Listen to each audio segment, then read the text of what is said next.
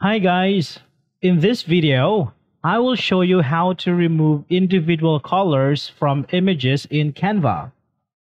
So to start, let's go ahead and look at this example. Let's click on the image.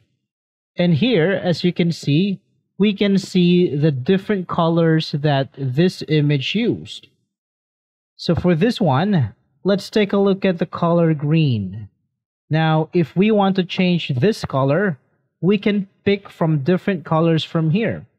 For this example, let's go ahead and try out pink. So as we can see, the green changed to pink. Now, if you want to remove the color, you can simply click on the color white. So we can do this with all the colors. Let's go ahead and try with orange. Let's click on the orange color and click on white. So as you can see, the colors now are turning into white. So that's it for this video guys. Thank you so much for watching and I will see you in the next one.